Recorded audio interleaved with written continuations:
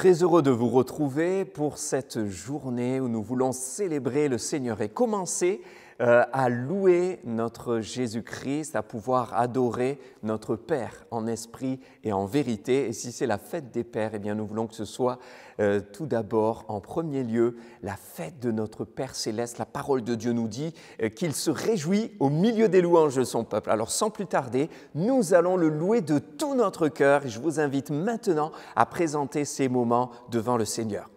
Nous voulons, Seigneur Jésus, te louer et te louer de tout notre cœur. Dans un instant, nous allons ensemble, avec euh, les rachetés, les élus de Dieu, ton peuple, ceux que tu t'es acquis au prix de ton sang, eh bien, célébrer ton nom, élever nos voix et nous réjouir de t'appartenir.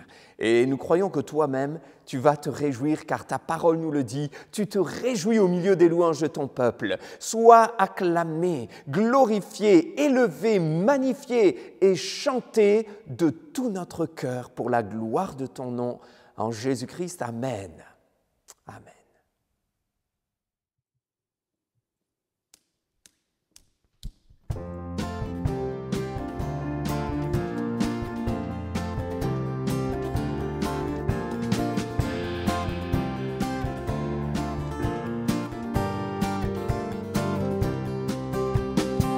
De nos montagnes et nos vallées, de nos campagnes et nos cités. Un peuple nombreux s'assemble pour louer Dieu et proclamer ensemble qu'il est le Créateur, qu'il fait de nous sa demeure pour être sel et lumière. Dieu nous appelle à servir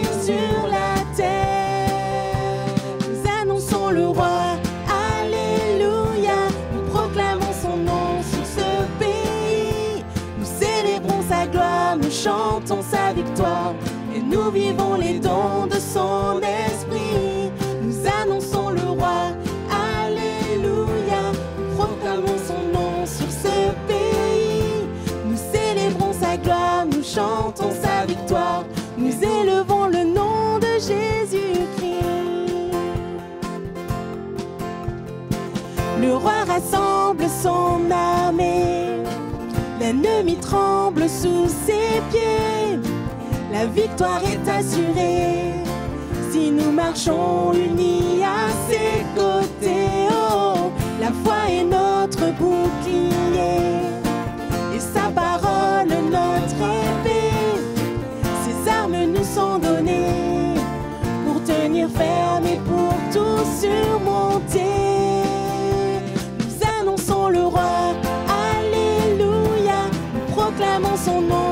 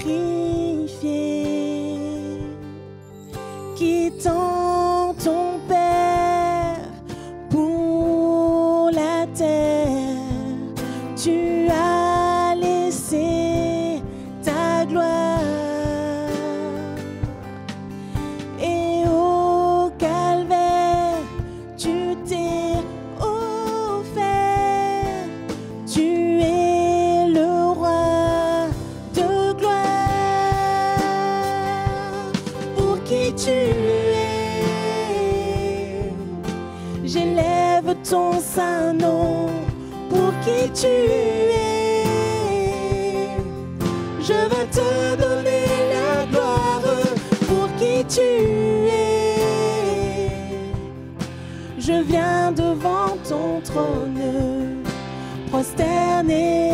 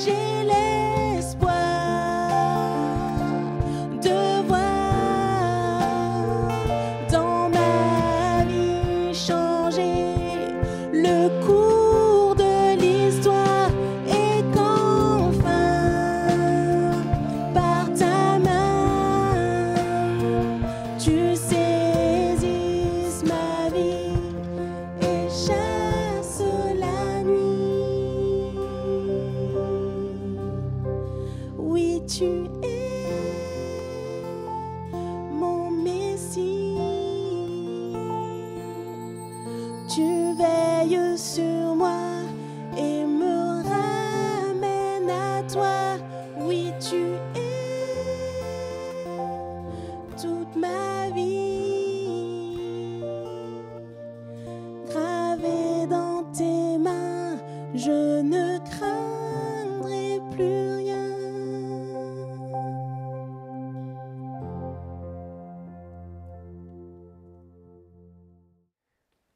Seigneur soit vraiment glorifié. Je crois qu'il l'a été au travers de, de ces cantiques, au travers de la louange que nous lui avons apportée du plus profond de notre cœur. Je vous invite à vous incliner encore avec moi pour prier afin que Dieu bénisse maintenant ces temps de partage de la parole de Dieu. Nous désirons, Seigneur, nous placer devant toi et être euh, attentifs à l'écoute de ta voix, de ce que tu veux dire à chacun. Tes paroles sont esprit et vie. Elles l'étaient, mais elles le sont encore et elles le demeureront éternellement. Car toutes choses passeront. Nous savons que tout ce que nous voyons autour de nous passera. Mais ta parole subsiste éternellement. Et ce qui est merveilleux, c'est qu'elle a encore cet effet, cet impact dans nos cœurs et dans nos vies par le Saint-Esprit qui agit encore aujourd'hui dans le nom de Jésus. Amen. Amen. Nous ouvrons donc la parole de Dieu dans la lettre de Paul aux Philippiens dans le Nouveau Testament, au chapitre 3. Je vais vous inviter à venir avec moi pour partager ces quelques versets que je trouve vraiment extraordinaires avec euh, une expression qui revient dans la bouche de l'apôtre Paul et sur laquelle nous allons nous arrêter euh, pendant deux dimanches. Et cette expression est la suivante, elle fera bien sûr l'objet du titre du message, Saisi par Jésus-Christ. Philippiens chapitre 3, verset 1er. Au reste, mes frères, réjouissez-vous dans le Seigneur. Je ne me lasse point de vous écrire les mêmes choses. Et pour euh, vous, cela est salutaire. Prenez garde aux chiens, prenez garde aux mauvais ouvriers, prenez garde aux faux circoncis, car les circoncis, c'est nous qui rendons à Dieu notre culte par l'Esprit de Dieu, qui nous glorifions en Jésus-Christ et qui ne mettons point notre confiance en la chair. Moi aussi, cependant, j'aurais sujet de mettre ma confiance en la chair. Si quelqu'un croit pouvoir se confier en la chair, je le puis bien davantage. Moi, circoncis le huitième jour de la race d'Israël, de la tribu de Benjamin, hébreu né d'hébreu, quant à la loi pharisien, quant aux ailes persécuteurs de l'Église, irréprochable à l'égard de la justice de la loi, mais ces choses qui étaient pour moi des gains, je les ai regardées comme une perte à cause de Christ. Et même je regarde toute chose comme une perte à cause de l'excellence de la connaissance de Jésus-Christ, mon Seigneur, pour lequel j'ai renoncé à tout. Et je les regarde comme de la boue, afin de gagner Christ et d'être trouvé en lui, non avec ma justice, celle qui vient de la loi, mais avec celle qui s'obtient par la foi en Christ, la justice qui vient de Dieu par la foi. Ainsi, je connaîtrai Christ et la puissance de sa résurrection et la communion de ses souffrances en devenant conforme à lui dans sa mort pour parvenir, si je puis, à la résurrection d'entre les morts. Ce n'est pas que j'ai remporté le prix ou que j'ai déjà atteint la perfection, mais je cours pour tâcher de le saisir, puisque moi aussi j'ai été saisi par Jésus-Christ. Amen. Dans ces verset de l'apôtre Paul, nous voyons ici en filigrane de sa vie, tout ce qu'il a pu expérimenter, la grâce de Dieu, la puissance de la résurrection, lui qui est réellement, comme il le dit, passé de la mort à la vie. Il nous encourage à le vivre, il prêche l'évangile afin que les païens, euh, ceux qui ne connaissent pas le Seigneur, mais afin que aujourd'hui nous puissions nous aussi vivre cette réalité et que les gens passent de la mort à la vie. Mais lui-même est passé de la mort à la vie. Il était persécuteur de l'Église, il respirait la menace et le meurtre. Il avait approuvé le meurtre d'Étienne. Il était rempli de sa justification personnelle et il était complètement condamné. Lui-même le dit, je suis le moindre de tous les apôtres après avoir été racheté par la grâce de Christ. Il proclame, il déclare que pour lui, il est le plus petit d'entre eux. Il se rappelle d'où le Seigneur Jésus l'a tiré. Et il dit, j'ai été saisi par Jésus-Christ je trouve que cette expérience qu'il a vécue est fondamentale pour chacun d'entre nous, saisie par Jésus-Christ. Et on pourrait se poser la question dès maintenant, mes frères et sœurs et amis, avons-nous été saisis par Jésus-Christ? Avez-vous été saisis par Jésus-Christ? Ai-je été saisi par Jésus-Christ? As-tu besoin d'être encore saisi par Jésus-Christ? L'apôtre Paul sait de quoi il parle lui qui était dans l'ombre, lui qui était dans les ténèbres, lui qui n'avait pas peur de tuer les chrétiens, d'approuver tous les meurtres qui se faisaient. Mais un jour, il a complètement changé. La transformation exceptionnelle de cet homme n'est pas due au hasard. La transformation magistrale de cet homme n'est pas due à une philosophie humaine. Elle n'est pas due non plus à ses capacités personnelles. Mais un jour, il a été saisi par Jésus-Christ. Lorsque nous sommes saisis par Jésus-Christ, nous pouvons vivre des miracles. Lorsque nous sommes saisis par Jésus-Christ, nous pouvons vivre de véritables transformations. Lorsque tu es saisi par Jésus-Christ, tu peux vivre une libération. Lorsque tu es saisi par Jésus-Christ, tu peux vivre une délivrance. Quel est ton besoin aujourd'hui, mon frère, ma soeur Quel est mon besoin? Quel est notre besoin? Quels sont nos besoins? Le Seigneur connaît, le Seigneur sait, le Seigneur voit car il est partout. Il est omniprésent. Il peut tout. Il est tout-puissant. Il est omnipotent. Et il sait tout, il est omniscient.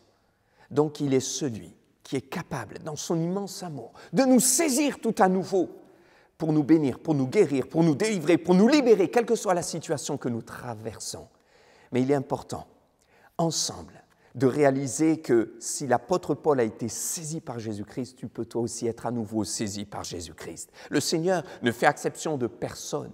Il ne dit pas tu es euh, de côté, je te mets à part, à l'écart, je ne t'aime point, tu es moins bon que l'autre, moins bien que celle-ci ou que celui-là. Non, le Seigneur est plein d'amour et il nous dit encore ce matin, mon désir c'est de vous saisir tout à nouveau pour qu'il se passe quelque chose dans nos cœurs, dans nos vies. Parce que lorsque le Seigneur nous saisit, notre vie change, notre vie est transformée, notre caractère est façonné et formé et notre avenir est différent parce que c'est lui qui tient nos vies dans sa main et qui nous conduit parfaitement selon le bon plaisir de sa volonté. L'apôtre Paul disait, je désire une seule chose, c'est connaître l'excellence de la connaissance de Jésus-Christ, connaître Christ. Je suis prêt à tout balayer, je suis prêt à tout perdre, je suis prêt et même je considère tout comme une perte et comme de la boue à côté de Christ, tout comme de la boue pour gagner Christ, tout comme de la boue pour parvenir à l'excellence de la connaissance de Christ. Il aimait Christ. Il chérit c'est Christ. Il désirait Christ. Il voulait mieux le connaître. Il voulait être près de Christ. Pourquoi?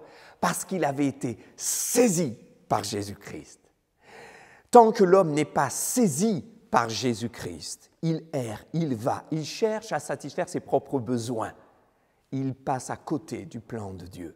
Nous avons besoin d'être saisis par Jésus-Christ. Saisis par Jésus-Christ, pour saisir le prix de la vocation céleste en Jésus-Christ. Autrement dit, l'apôtre Paul avait un objectif, il avait un but. Et il voulait le salut, il voulait être sauvé, il voulait être au paradis, mais il voulait aussi parvenir à une croissance spirituelle, à euh, une maturité spirituelle, à des victoires et à un perfectionnement en Jésus-Christ, parvenir à la perfection en Jésus-Christ. Jésus lui-même avait dit dans Matthieu 5, Soyez parfaits comme votre Père céleste est parfait. Et on pourrait se poser la question, quel est notre objectif? Désirons-nous être sauvés? Désires-tu être sauvé Oui, alors tu as besoin d'être saisi par Jésus-Christ. Désirons-nous aller de l'avant? Oui, alors vous avez besoin d'être saisi par Jésus-Christ. Désirons-nous euh, plaire à Dieu? Oui, alors vous avez besoin d'être saisi par Jésus-Christ. Désirons-nous remporter le prix, le prix de la vocation céleste en Jésus-Christ. Le prix qui nous est proposé, si oui, alors nous avons besoin de Jésus-Christ. L'apôtre Paul disait, je cours, mais je ne cours pas au hasard.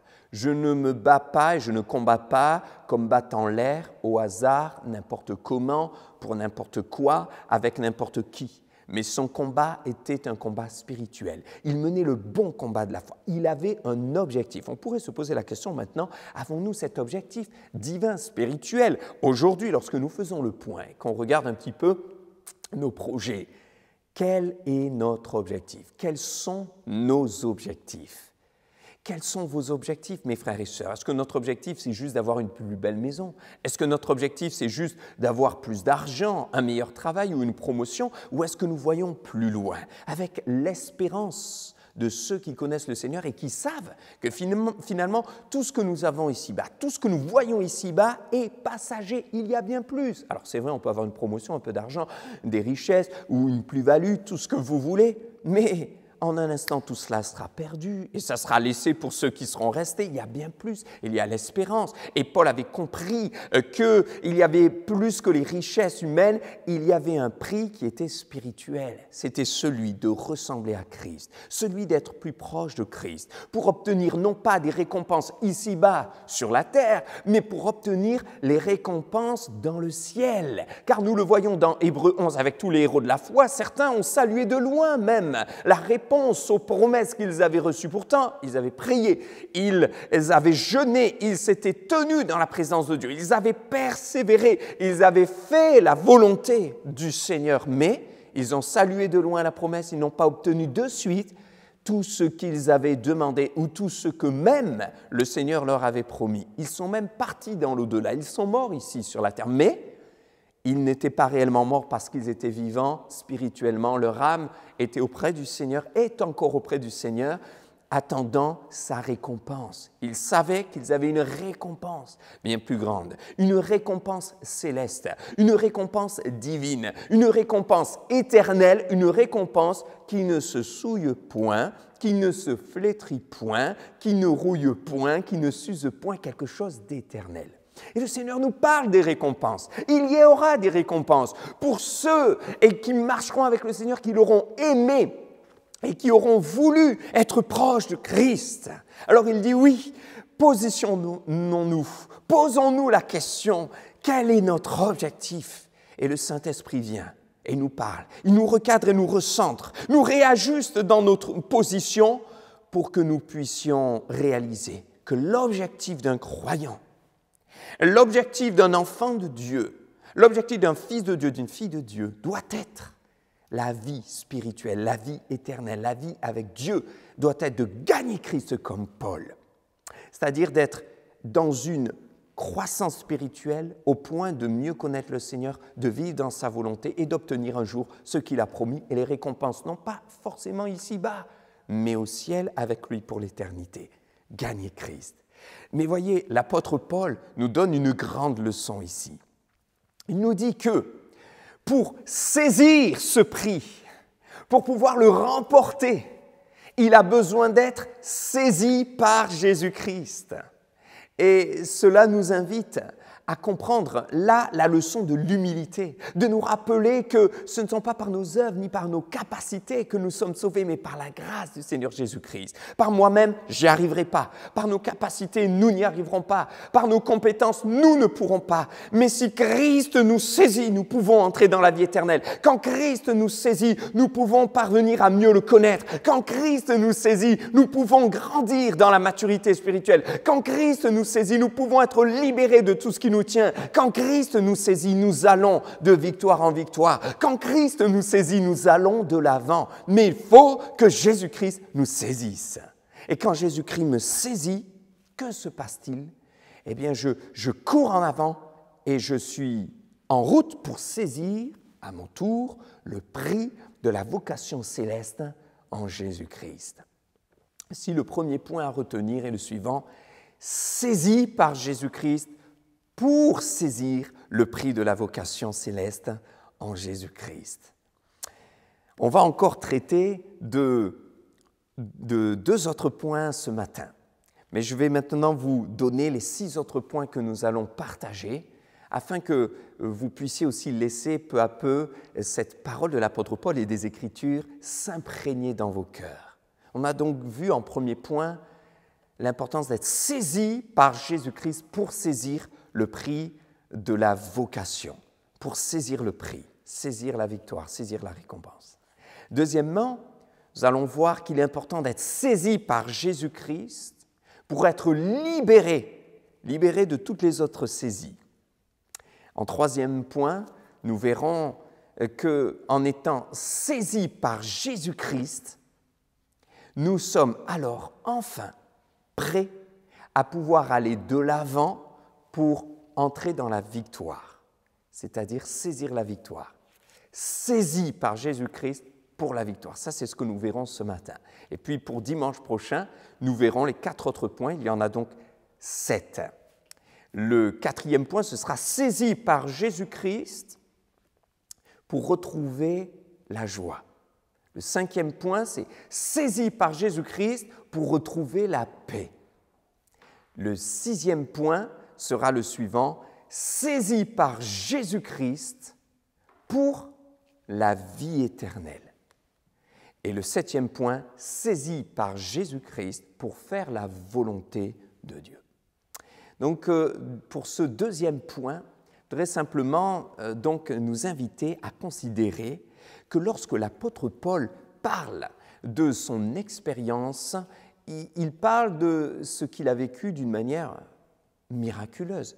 Parce qu'on le voit, c'est sur le chemin de Damas dans Actes chapitre 9, où il était en route pour justement lutter contre l'œuvre de Dieu. Pourtant, il pensait qu'il luttait avec Dieu. Comme quoi, parfois, on peut se méprendre sur nos chemins, nos dispositions, nos, nos conceptions ou nos positions. Et il est important d'être éclairé par le Seigneur. On a besoin d'être saisi par le Seigneur comme l'apôtre Paul a, été saisi par Jésus-Christ sur son chemin de Damas. Et sur ce chemin de Damas, en fait, il était euh, déjà saisi. Il était saisi par quoi? Par la haine contre les chrétiens, euh, par son aveuglement. C'est ça qui le tenait. Il était saisi euh, par toutes sortes de sentiments négatifs et mauvais. Il était saisi par son péché. Et donc il est important de comprendre dans ce deuxième point ensemble que c'est saisi par Jésus-Christ que nous sommes libérés de toute autre saisie. Pourquoi? Eh bien parce que mes frères et sœurs, la nature a horreur du vide. Le cœur de l'homme a un vide. Et tant que Jésus-Christ n'y habite pas, ne domine pas et ne règne pas, que se passe-t-il? Il y a autre chose qui vient y régner. La parole de Dieu nous dit que nous gisions sous la puissance du diable quand nous étions loin du Seigneur Jésus-Christ, mais il est venu nous sauver. Et nous voyons dans la parole de Dieu bien des états de cœur et d'âme, d'hommes et de femmes qui avaient besoin d'être saisis par Jésus pour être libérés de ceux qui les avaient tenaillés et saisis. La version euh, second 21 dit euh, lorsque l'apôtre Paul parle d'être saisi par Jésus-Christ, elle nous dit euh, eh bien aussi euh, qu'il voulait s'emparer de Jésus-Christ. Je voudrais m'emparer du prix parce que j'ai été moi-même eh, eh bien emparé. Jésus-Christ s'est emparé de moi. S'emparer, c'est vraiment prendre position, prendre possession. C'est saisir, c'est s'accaparer, c'est prendre le dessus. Et je crois que le Seigneur veut que ceux qui prennent le dessus dans nos cœurs et dans nos vies, c'est sa vie, c'est sa victoire. Le dessus sur le péché, sur une addiction, sur toutes sortes de sentiments mauvais, de convoitise, du fruit de la chair dénoncé par l'apôtre Paul dans Galates chapitre 5. Peut-être vous êtes en proie à toutes ces situations. Ce matin, le Seigneur veut te parler, il veut t'encourager, il veut te saisir pour que tu sois libéré de ce qui t'a saisi. On voit dans Nombre chapitre 5 et verset 14 euh, que Dieu dénonce le fait qu'un homme peut être saisi d'un esprit de jalousie. Il ne parle pas ici euh, d'un esprit au sens démon de jalousie, mais il parle d'un état d'esprit, d'un sentiment de cœur néfaste et mauvais qui vient de la chair, la jalousie. Alors on se pose la question d'une manière simple ce matin, mon frère, ma sœur, es-tu saisi de jalousie envers quelqu'un? Eh bien, tu as besoin d'être saisi par Jésus-Christ pour être libéré de cette jalousie qui est comme la carie pour les os, qui peut ronger ton cœur et ton âme. Et l'amour de Dieu vient avec tendresse, d'une manière extraordinaire, pour te délivrer. Si avec humilité, tu lui dis, Seigneur, j'ai besoin de toi. Saisi par un esprit de jalousie, par un sentiment de jalousie, de voir l'un, de voir l'autre, de voir la réussite et de voir la richesse de l'un. Saisi par un sentiment de jalousie de voir un couple alors que peut-être eh bien tu souffres du célibat, euh, saisi par un sentiment de jalousie en voyant une famille épanouie et heureuse alors que dans ta famille c'est compliqué. Eh bien le Seigneur veut te délivrer de cela. Le diable vient euh, pour semer ces sentiments qui détruisent, qui rongent, qui s'abattent sur nous. Mais la puissance de Dieu nous délivre euh, du diable parce que le Seigneur est venu pour démasquer ses œuvres. Peut-être que quelqu'un est saisi par euh, euh, un, autre état d'esprit et dans Nombre au chapitre 11 et au verset 4, il nous est dit que le ramassis des gens du, qui, euh, euh, du peuple hein, qui était au milieu d'Israël, alors que le peuple avait été libéré d'Égypte sous la direction de Moïse le libérateur, hein, suscité par Dieu, eh bien ce ramassis va être saisi de, de convoitise. Peut-être ce matin, quelqu'un, en regardant ce message, est saisi de convoitise. Il convoite ce que l'autre a. La parole de Dieu nous, nous met en garde contre cela. Ne convoite pas la femme de ton prochain. Ne convoite pas le bien de ton prochain. Ne convoite pas eh bien, les richesses de l'autre. Ne convoite pas la situation professionnelle de l'autre. Ne convoitez pas le ministère de quelqu'un. Ne convoitez pas le service d'autrui. Et si vous dites, mais c'est trop dur pour moi, c'est trop difficile, c'est plus fort que moi, alors le Seigneur pourra dire, oui, en effet, tu as remarqué que tu en as été saisi. Quand on est saisi par quelque chose, c'est qu'on est tenu, comme tenaillé, cadenassé, on ne peut pas s'en sortir. Mais si avec humilité on vient devant le Seigneur en disant Jésus, j'ai besoin de toi, je reconnais ta puissance, mais je crois aussi en ton amour, le Seigneur est prêt à agir. Et le ramassis euh, du peuple qui était là au milieu des gens qui s'étaient mis au milieu d'Israël était là pour semer quelque chose de mauvais. Mais le Seigneur avait prévu un plan. Quand il parle, c'est aussi pour nous montrer la faille. Mon frère, ma sœur, ne te laisse plus dévorer Ne te laisse plus dominer par ces choses-là. S'il y a de la convoitise dans ton cœur, viens dépose-la au pied de la croix. Repends-toi, demande pardon, dis Seigneur, délivre-moi. Il a la puissance pour te délivrer par le Saint-Esprit. Et si tu es saisi par Jésus-Christ, alors tu seras délivré de la saisie de la convoitise. Dans Esther, au chapitre 7 et au verset 6, et rappelez-vous cette histoire euh, de Esther qui va venir devant le roi, elle va risquer sa vie. Il nous est dit qu'un certain Haman va être lui saisi de terreur. Pourquoi est-il saisi de terreur? Eh bien parce que il avait fomenté un plan machiavélique contre Dieu, contre le peuple de Dieu, contre Esther, contre les Juifs. Il avait prévu tout un génocide. Il avait manigancé cela sous la puissance des ténèbres. Il y avait eu derrière un esprit de calcul, un esprit de manipulation, un esprit de préméditation. Et à un moment donné, il va être dévoilé, parce que la parole de Dieu nous le dit, il n'y a rien de caché qui ne doive être découvert. Et au moment opportun, Esther, qui était un instrument entre les mains de Dieu, va parler au roi et va dire, c'est lui, Aman, qui cherche à nous détruire. il nous est dit qu'à ce moment-là, parce qu'il est démasqué, il est dénoncé, il va être saisi de terreur. Et je crois que c'est aussi un enseignement à tirer, mes frères et sœurs. Ne laissons jamais l'esprit de calcul, l'esprit qui soupçonne le mal, un état d'esprit de manipulation gagner nos cœurs et nos vies.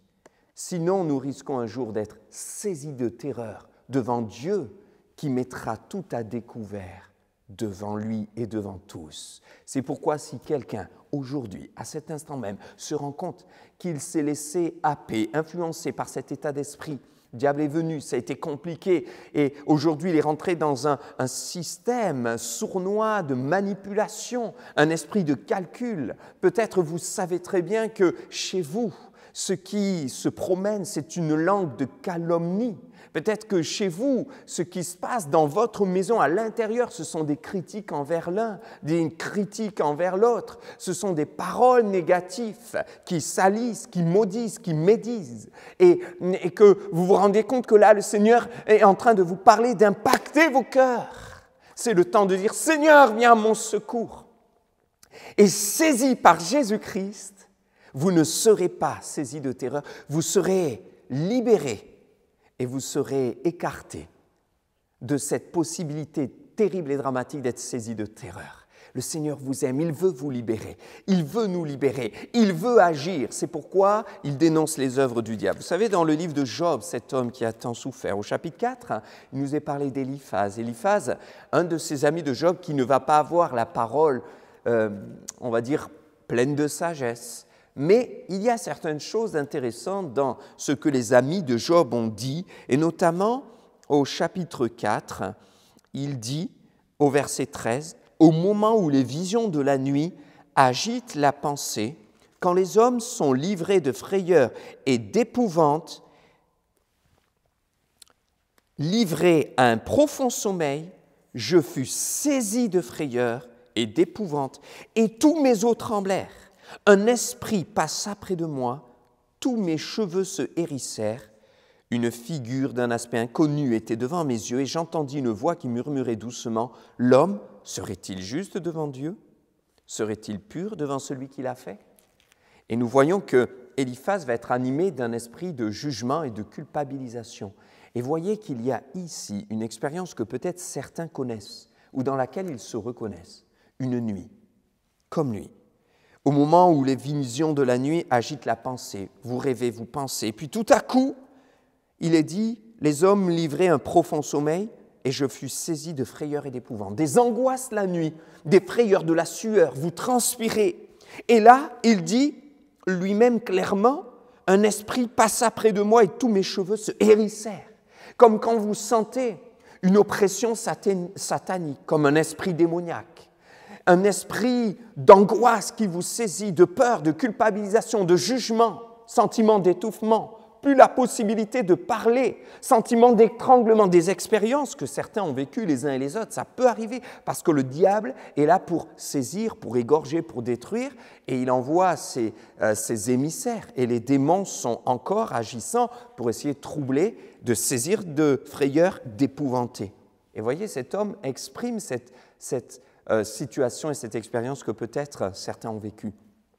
Et c'est là qu'il dit, une figure d'un aspect inconnu était devant mes yeux. Peut-être vous avez vu une ombre, vous avez vu quelque chose, il s'est passé quelque chose spirituellement que vous ne pouvez même pas forcément précisément expliquer, que vous avez cherché à comprendre.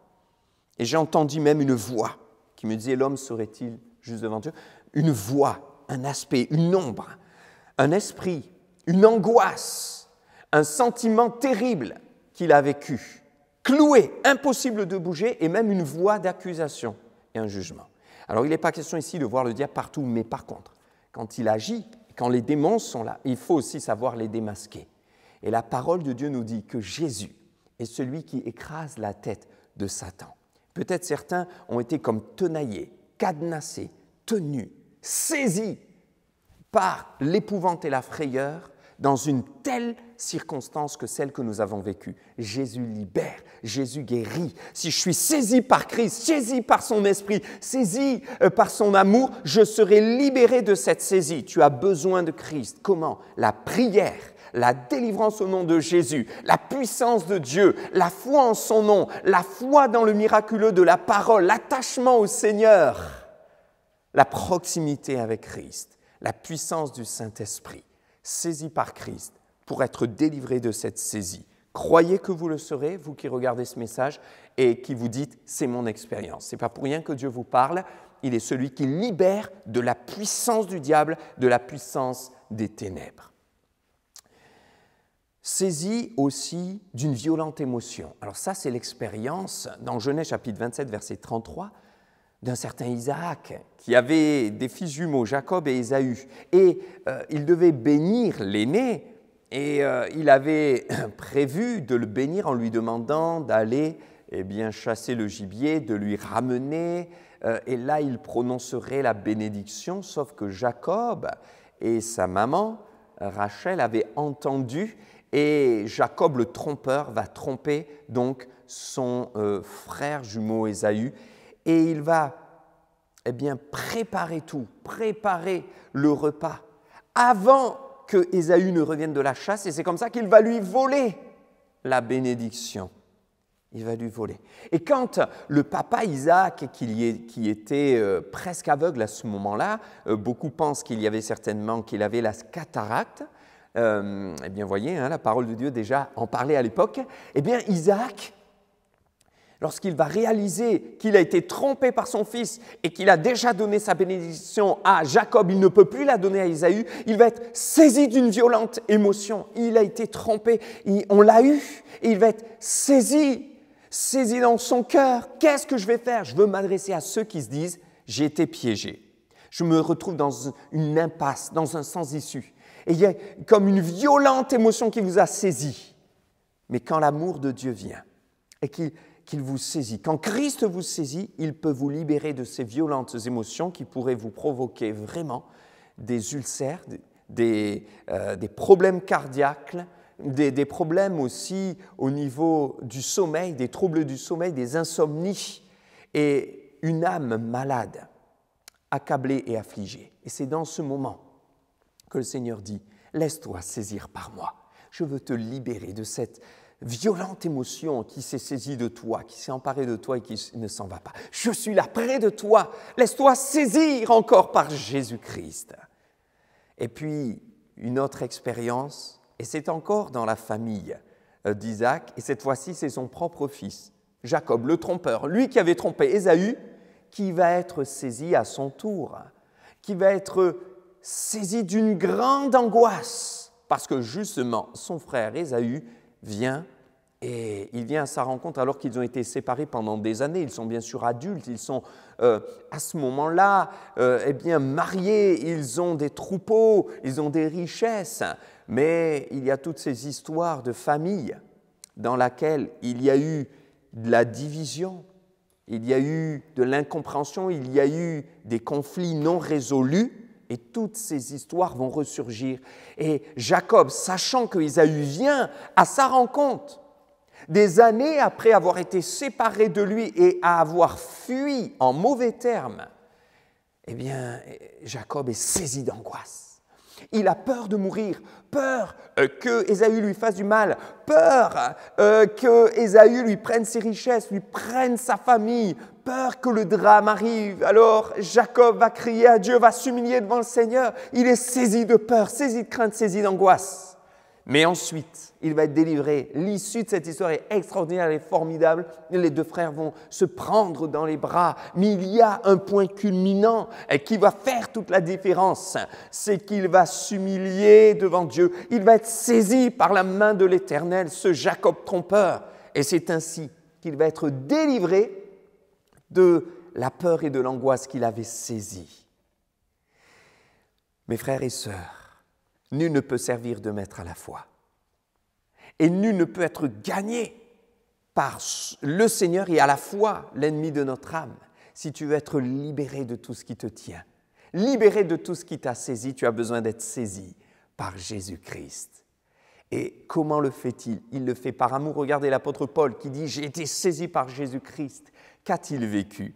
L'apôtre Paul, dans ce récit de Acte 9 sur le chemin de Damas, était un persécuteur, il respirait la menace et le meurtre, il faisait peur à tout le monde. Et comment est-ce que le Seigneur va le rencontrer?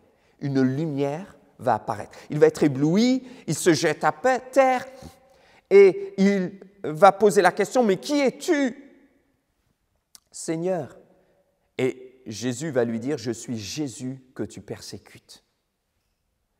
Et là, l'apôtre Paul, il n'était pas encore l'apôtre Paul, il était seul de Tarse, va dire, que veux-tu que je fasse? Vous voyez, on a la clé ici. Le Seigneur aurait pu le frapper, il aurait pu lui faire du mal, il aurait pu lui mettre une maladie, il aurait pu lui dire je vais te faire payer tout, euh, tout ce que tu as approuvé, le meurtre d'Étienne, le mal que tu as fait, la peur que tu as semée, la crainte que tu as euh, mis dans les cœurs et ce que tu as fait contre moi, contre mon peuple, contre mon Église, tu vas le payer. Non, le Seigneur le saisit par amour. Alors peut-être euh, ce matin, certains se culpabilisent ou certains se reconnaissent dans certaines situations, certains sentiments qui ont été nommés. Mais le Seigneur vient avec amour. Et voyez, il y a un équilibre entre la puissance de Dieu et l'amour de, Dieu. La puissance de Jésus et l'amour de Jésus. Il vient, il nous saisit avec puissance et il nous saisit avec amour en même temps. Il, il, saisit Paul avec puissance. Paul est obligé de s'agenouiller, de tomber à terre. Une lumière est trop brillante, une lumière euh, trop puissante, trop resplendissante est en train de l'éclairer, il est obligé de s'incliner la puissance de Dieu, mais en même temps l'amour de Dieu. Le Seigneur lui parle avec simplicité, il ne lui fait pas de mal, il le saisit juste. Et l'apôtre Paul est transformé. Le Seigneur veut te saisir, mon frère, ma sœur. Il veut te saisir afin que tu sois bouleversé, transformé, afin que tu sois libéré, délivré. Et quand Jésus a saisi Saul de Tarse, il a pu le transformer parce que euh, Saul de Tarse a fait sa part. Il lui a dit, mais que veux-tu que je fasse? Alors qu'avant, Saul faisait ce qu'il voulait, Saul de Tarse allait où il voulait, Saul de Tarse faisait le mal qu'il voulait. Mais cette fois-ci, il dit, que veux-tu que tu fasses, Seigneur? Voilà la clé. Avec amour et puissance, le Seigneur vient pour te saisir. Et peut-être que tu te dis en ce moment, je veux être saisi par le Seigneur, comment faire? Et le Seigneur te dit, je vais te saisir, je veux te saisir, mais il faut que tu te laisses être saisi. Il faut que tu te laisses être saisi.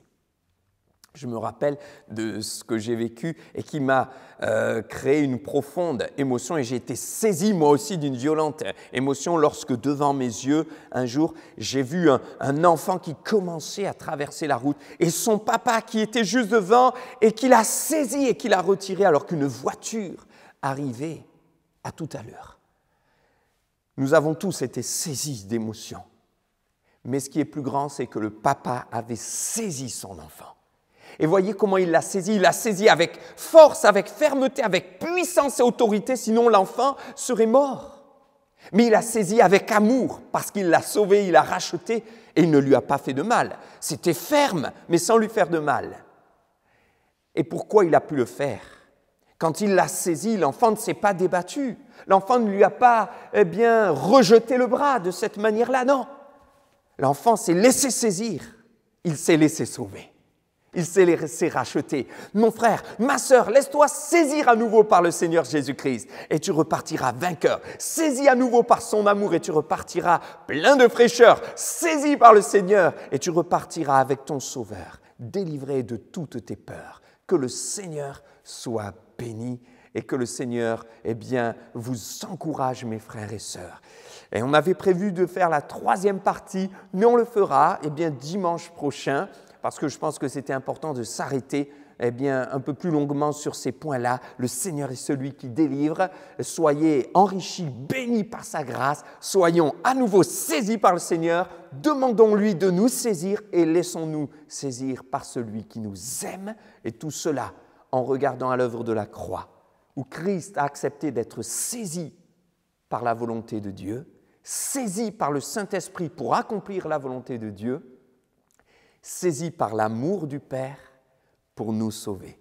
Il est mort à la croix, mais il est ressuscité. Nous voulons le célébrer. Et aujourd'hui encore, il nous saisit la main. Il te saisit. Sois béni, mon frère, ma sœur. Prions ensemble. Seigneur, nous sommes ensemble devant toi ce matin et nous voulons réaliser que pour saisir le prix de la victoire, de la vocation céleste, et aller de l'avant, nous avons besoin d'être à nouveau saisis par toi. Pour être libérés de tout ce qui peut nous tenir ou nous saisir, nous avons besoin d'être saisis par toi. Merci pour l'exemple de l'apôtre Paul. Merci pour ta parole qui nous conduit à la véritable liberté, la véritable délivrance en toi, et à nous rappeler que c'est avec amour et puissance que tu tends la main pour nous saisir des grandes eaux pour relever notre tête et nous permettre d'aller de l'avant de victoire en victoire dans le nom de Jésus. Amen. Amen.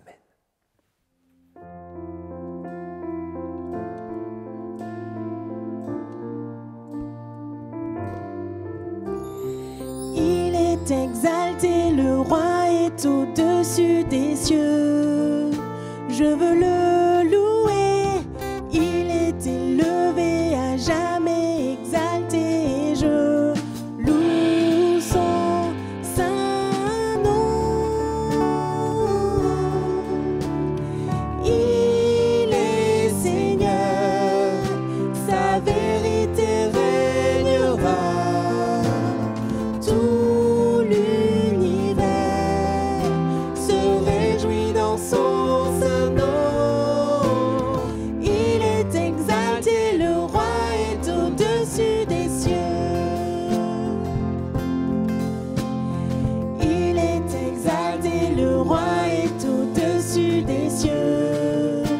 Je veux le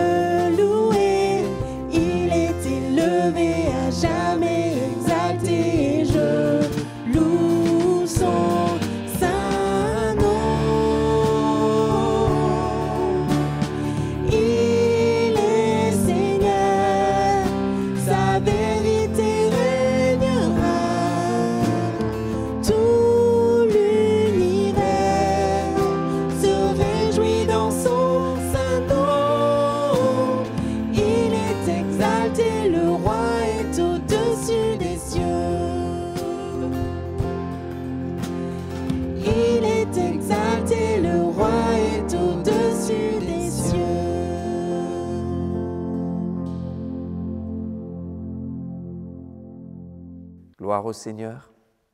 On se réjouit de pouvoir le célébrer, on se réjouit de pouvoir continuer, d'aller de l'avant en comptant sur sa fidélité. Je vous rappelle euh, qu'à 11h30, nous avons rendez-vous avec le club à la maison pour toutes les familles, tous les enfants, afin que vous puissiez aussi être saisis par le Seigneur Jésus-Christ dans vos cœurs et dans vos pensées et par les au travers des messages qui sont apportés. Cette semaine encore, voici notre programme, hein, mardi, jeudi et samedi euh, pour euh, une rencontre avec le Seigneur et un partage biblique dans sa présence. Que le Seigneur vous bénisse abondamment et je vous souhaite un très bon dimanche, une très bonne fête des Pères. À très bientôt.